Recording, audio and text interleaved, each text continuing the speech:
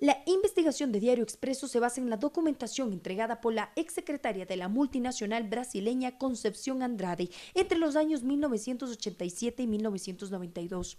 El artículo revela que al parecer Odebrecht tenía una red articulada de coimas denominada Sector de Relaciones Estratégicas, desde donde se ordenaba la entrega de dinero en los 12 países, entre los que se incluye Ecuador.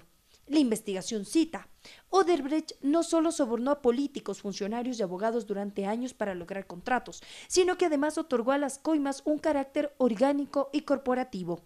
Que la investigación, entre comillas, de Diario Expreso es un paso al frente, porque ya pues investiga desde los 80 y salen 18 nombres. En la lista figuran 18 nombres, algunos de ellos bajo seudónimos, como por ejemplo Matraca, Chico, Nipón, Secreto 1, Comité 3, entre otros.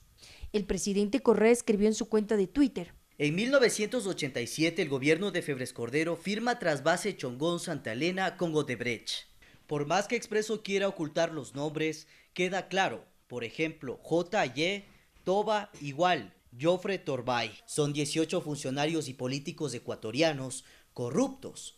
Piensen en nombres de socialcristianos y fácilmente podrán armar el rompecabezas. Miguel Orellana, Heinz Meller, Luis Robles, etc.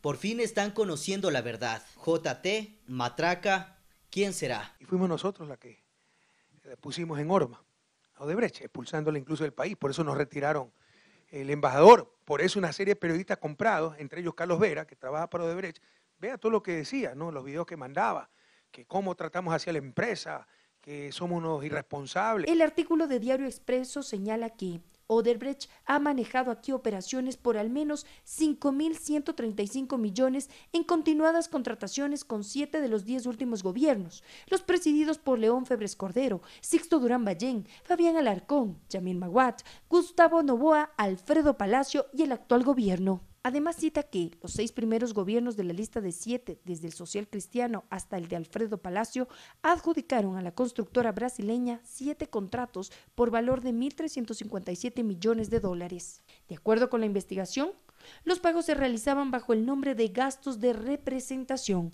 y el dinero se habría depositado en Ecuador en cuentas bancarias de Guayaquil y en cuentas en bancos de Miami. Valeria Villarroel, Cama Noticias.